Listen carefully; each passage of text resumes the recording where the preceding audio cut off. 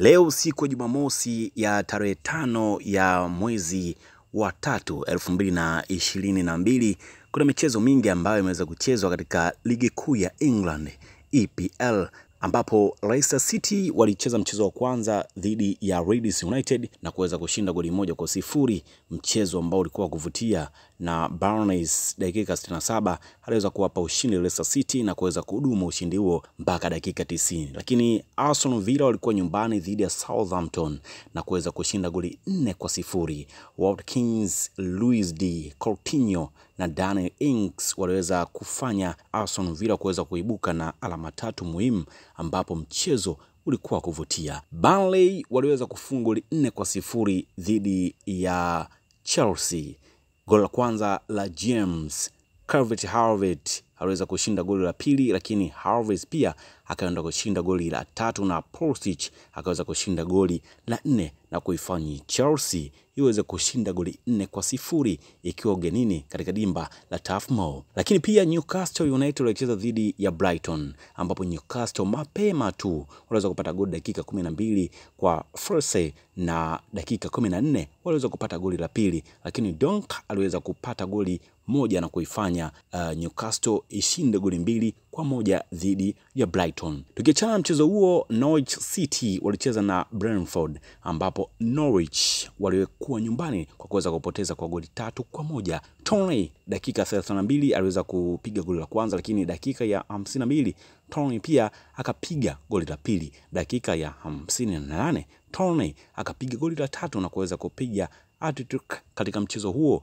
huku dakika ya sitini na saba. Goli liliweza kufungwa na Norwich likakataliwa, lakini pia dakika ya sabini na saba. Wao Brentford waliweza kushinda goli na kuweza kukataliwa pia, huku Norwich City wakaweza kupata goli dakika tisini iliyofungwa na Pok na kuifanya Brentford waweze kushinda goli tatu kwa moja dhidi ya Norwich City.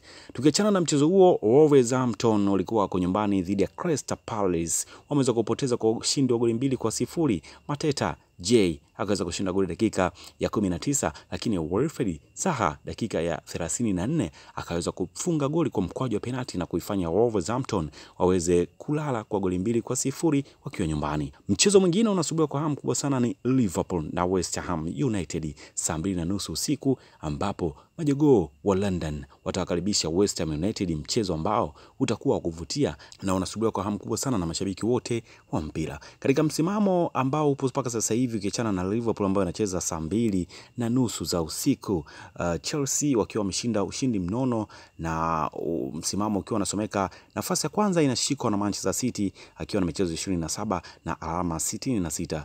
Nafasi ya pili ni ya Liverpool akiwa na michezo ishirini na sita na alama sitini. Chelsea wanabakia nafasi ya tatu wakishinda mchezo wa leo na michezo ishirini na sita na pointi hamsini na tatu. Manchester United nafasi ya nne wakiwa na michezo ishirini na saba na alama arobaini na saba. West Ham United wakiwa nafasi ya tano wakiwa na michezo ishirini na saba na pointi arobaini na tano. Arsenal Gunners wakiwa na alama 45 na michezo 24 wakishika nafasi ya sita, huku Tottenham Hotspur wakiwa na michezo 25 wakiwa na alama 42. Wolverhampton wakiwa na michezo 27 wakiwa na alama 40.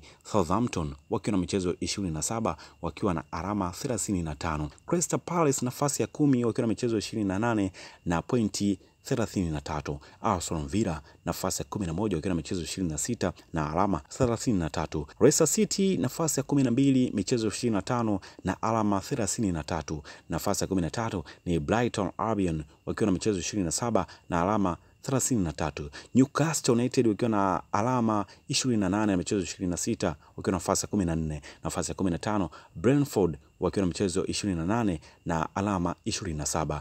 Leeds United wakiwa na michezo 27 na alama 23 wakiwa na nafasi ya 16. Nafasi ya 17 ni Everton wakiwa na michezo 24 na alama 22. Burnley katika nafasi ambazo za kuteremka daraja, wao wakiwa wanashika nafasi ya 18 wakiwa na michezo 26 na pointi 21.